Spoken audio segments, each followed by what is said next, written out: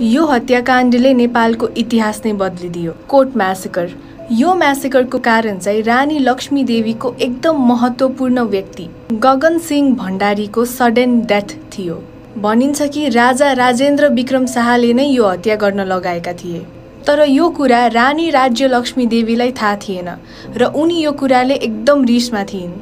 त्यति बेला जङ्गबहादुरले रानीलाई म हतियारा पत्ता लगाउँछु यसको जिम्मा चाहिँ मलाई दिनु भनेर भने। र यो हत्याको सच्चाइ पत्ता लगाउन रानीको आदेशमा जङ्गबहादुर राणाले सबै महत्त्वपूर्ण मान्छेहरूलाई यो कोतमा बोलाए। तर त्यहाँ भने कुराले अर्कै रूप लियो। जङ्गबहादुर र उनको भाइहरू मिलेर त्यहाँ उपस्थित सबै मान्छेहरूलाई मार्न थाले। यो कोतमा चालिसजना मान्छेहरू सहित त्यति बेलाको प्राइम मिनिस्टर फतेजङ शाहको पनि डेथ भएको थियो।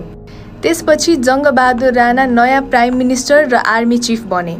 तर अब उनले रानी राज्यलक्ष्मीको अर्डर चाहिँ मान्न छोडिदिएका थिए र यो देखेर रानीले जङ्गबहादुरको खिलाफ प्लान गर्न थालिन् र त्यसपछि फेरि भण्डारकाल हत्याकाण्ड भयो। तर जङ्गबहादुरले रानीलाई नै देशद्रोही बनाएर आफ्नै देशबाट निकालिदिए र राजा पनि सँगसँगै गए।